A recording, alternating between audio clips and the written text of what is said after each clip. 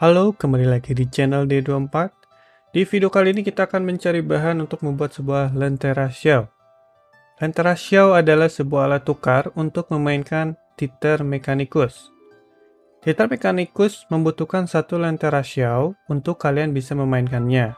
Dan untuk membuat lentera show, kalian membutuhkan tiga bahan, yaitu lantern fiber, wick material, dan pleasurate shot.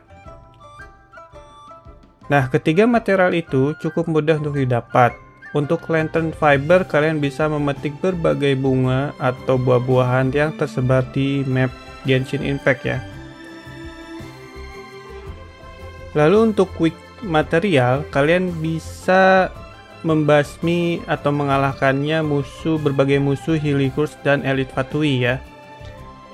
Dan untuk pleasure shot, kalian bisa mendapatkannya dengan menambang material mineral apa pun atau bisa membasmi Gopi Shop.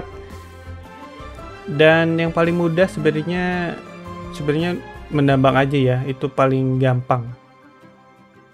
Dan untuk farmingnya sendiri paling gampang di satu tempat yaitu di Guyun Stone. Jadi kalian kalian bisa mendapatkannya yaitu material pleasure shard dan weak material. Soalnya cukup banyak helikus di sini dan elite Fatu juga dan juga material tambangnya ya.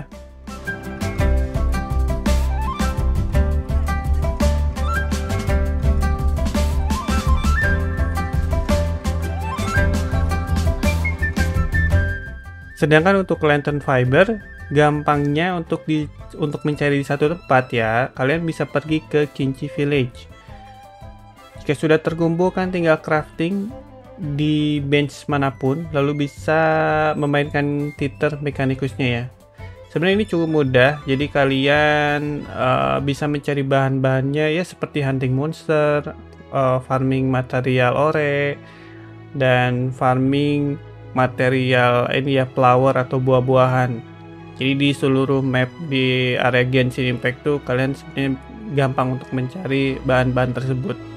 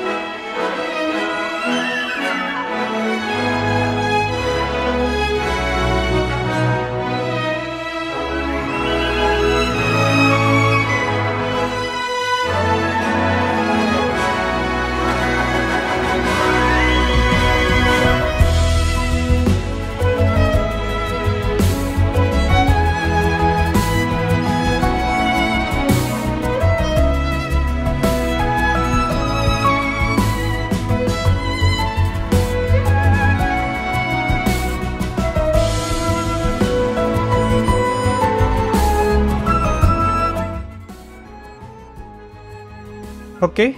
hmm, selamat mencoba. Jika kalian suka dengan video ini, jangan lupa klik tombol like, comment, dan subscribe. Dan sampai jumpa di video selanjutnya. Terima kasih.